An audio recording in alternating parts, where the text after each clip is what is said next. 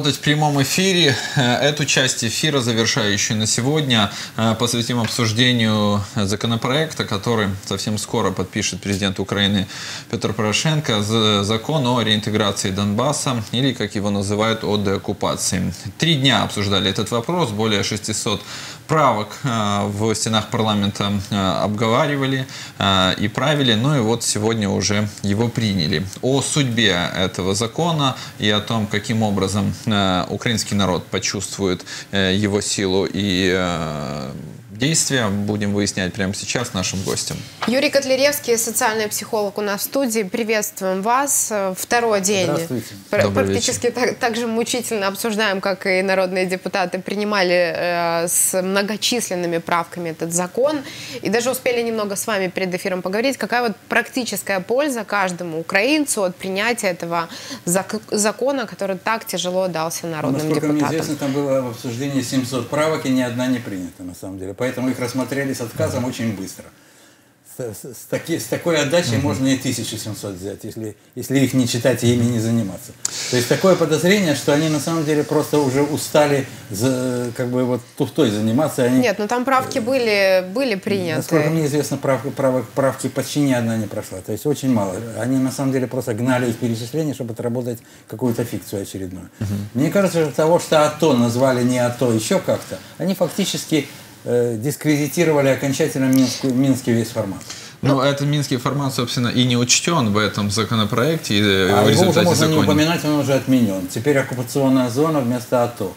От того, что что-то назвали другими словами, ничего ведь по существу не меняется. Кроме того, что мы теперь имеем возможность рассчитывать на то, что наше руководство в случае необходимости, уже не ссылаясь на э, юридические препоны, объявит военное положение и начнет атаковать как бы, агрессора, который назван агрессором. Ничего этого, естественно, не будет, имея разницу не просто в вооружении, при полном отсутствии, насколько мне известно, стратегической авиации, при серьезной уязвимости экономической, правовой, атомной, энергетической, какой угодно, на самом деле даже погода, стихийное бедствие нам показывает, что мы не готовы к самым элементарным капризам природы, да, при этом мы э, начинаем э, набирать новых каких-то категорий, утверждать их юридически, оспаривать какие-то. Давайте посмотрим, что это дает реальному человеку. Давайте как мы послушаем сюжет, там собраны главные да, тезисы принятого конечно. закона и вернемся.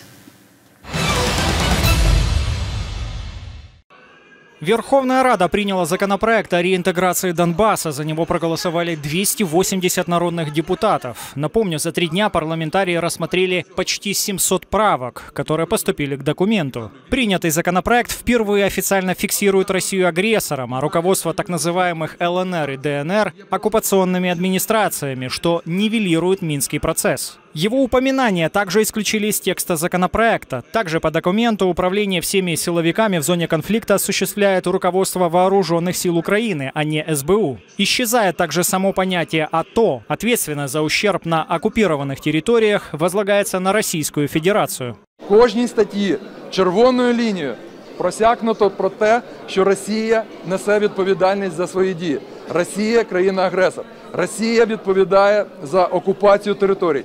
На Росію покладається відповідальність за стан речей на тимчасово окупованих територіях. Ну вот последняя фраза. Россия несет ответственность, Россия э, отвечает за действия. Каким да, образом да, она будет взяли нести бы хотя бы в той же Донецкой и Луганской области, в тех районах, где Украина как-то представлена, которые не являются оккупированными, хотя бы там навести порядок с медийными ресурсами, чтобы там наконец-то люди перестали слышать исключительно российские каналы и смотреть, чтобы на них начала воздействовать украинская агитация. Это не сделано, самое необходимое не сделано. Угу. А поменяли название, и от этого что поменялось? Угу. Да ничего. Давайте прямо сейчас услышим политолога Сергей Таран у нас на телефонной связи. Сергей, добрый вечер. Сергей, как вы нас слышите? Да, я вас слышу. Добрый да, добрый вечер. Э, хотим услышать ваше мнение по поводу принятия закона о реинтеграции Донбасса. Считаете ли вы его полезным и что может поменяться после подписания? Э, закон очень важен, потому что ну, он э, сразу решает несколько сложных проблем для Украины. Ну, прежде всего, это введение новой терминологии. У нас очень много было критики разных сторон, что вроде бы у нас как бы и война идет, и нет э, войны, и нет юридического статуса войны. И непонятно, кто агрессор. И отсюда и непонятно статус того, что происходит на востоке Украины. То ли это антитеррористическая операция, то ли война. Э, и мы, конечно, готовы были назвать давно вещи своими именами, но дело в том, что если бы мы называли войну войной, то мы бы тогда, э, во-первых, вступили э, в противоречие с международной логикой освобождения оккупированных территорий, которая предполагает мирное, а не военное решение конфликта. А во-вторых, было бы проблемным проведение выборов в Украине потому что военное положение предполагает, что выборов нет вообще никаких.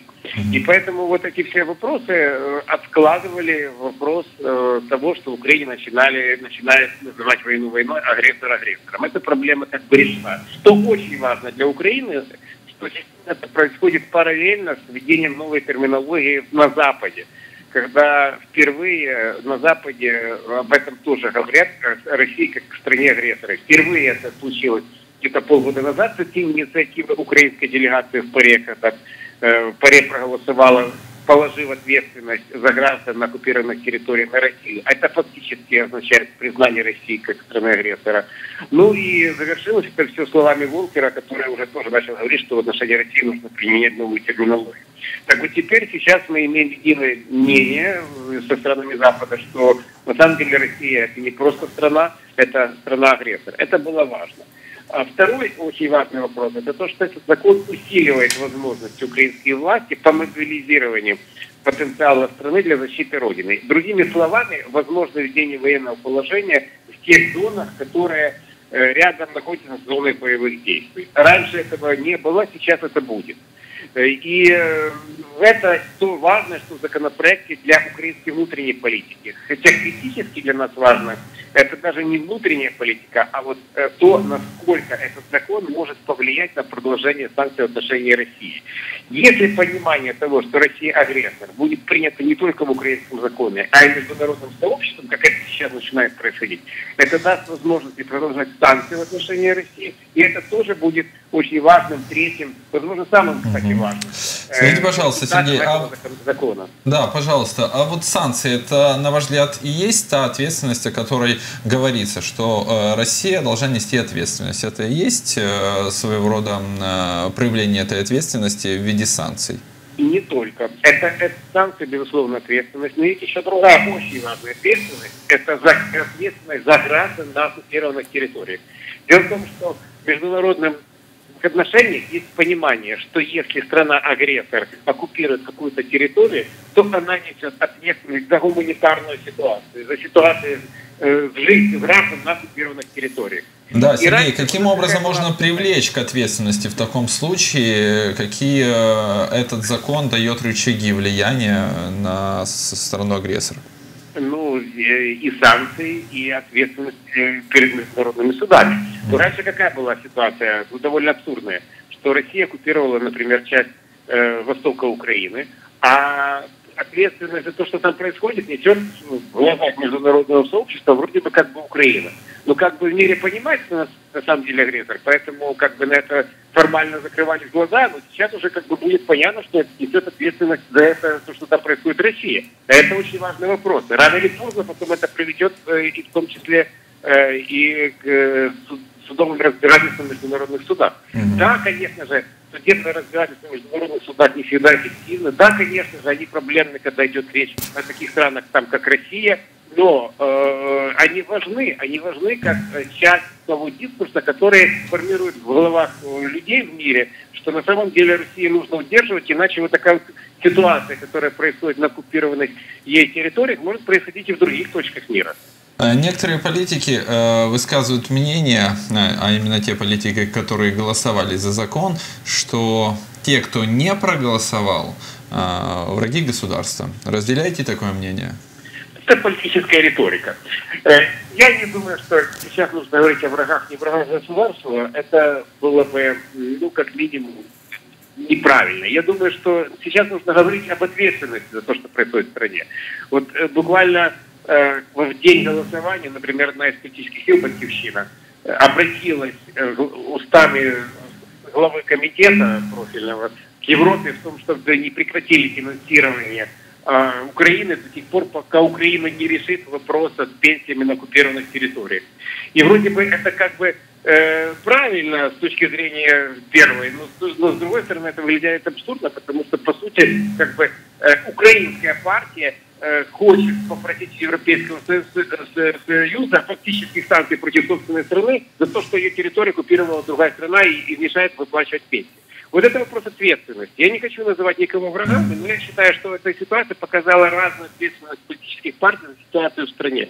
Вот, кстати, с другой стороны, очень важно, что, например, самопомощь, которая всячески противилась подобному законопроекту, все-таки его поддержала, показав свою ответственность, очень положительно. Поэтому я считаю, что дефицит ответственности, он как раз очень хорошо проявляется на отношениях вот таких вот законопроектов, которые сегодня будут проголосованы. Услышали вас и благодарим, что нашли время присоединиться к работе нашей студии. Сергей Таран, политолог, был на телефонной связи. Возвращаемся в студию. Э, вам кажется, э, что 280 народных депутатов, которые проголосовали за столь важный э, законопроект, а остальная часть не проголосовала, это политическая, для политического перевеса, либо это действительно позиция? Это не политический перевес. Это обычай. Вы заметили, что в речи вот, контактера, с которым вы только что были на связи, очень часто присутствует как бы и вроде бы.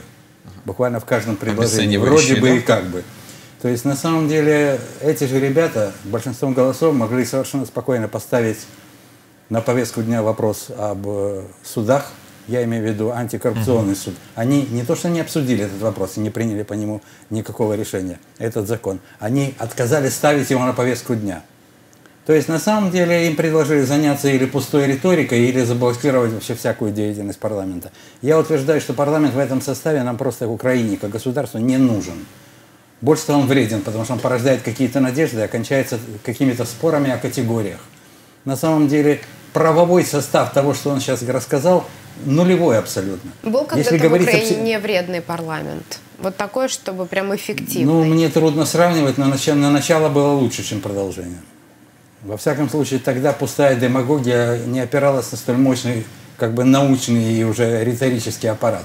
Сейчас, сейчас там появилось уже несколько как бы смен, несколько поколений людей, которые могут связно говорить ни о чем в течение где-то часа-двух.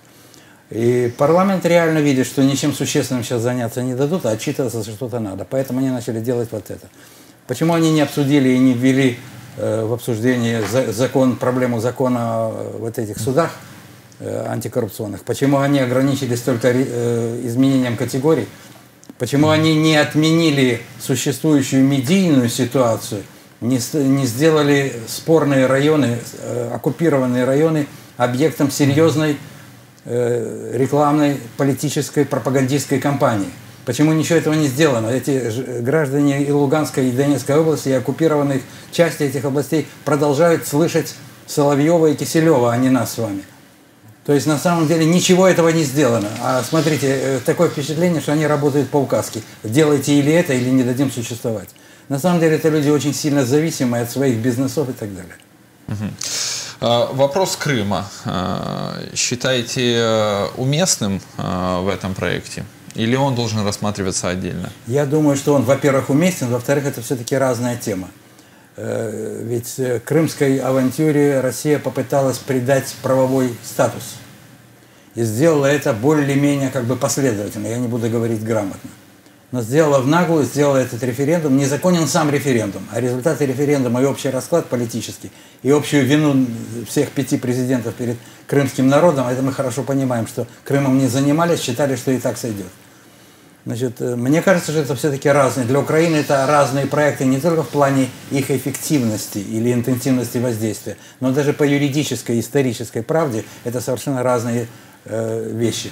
Мне кажется, что с тех, э, до, до тех пор, пока Украина не занялась, не добилась успеха в плане эффективности собственной экономики, мы ничем привлекательным ни для зоны оккупированной, ни зоны, зоны аннексированной представлять собой не можем. Заняться нужно наконец-то делом, а не вот этой пустопорожней болтовней в Верховной Раде.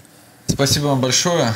Юрий Котляревский, социальный психолог, был у нас в гостях. К этому часу подводим итоги всего информационного дня, итоги голосования. Э, напомню, как оно звучало.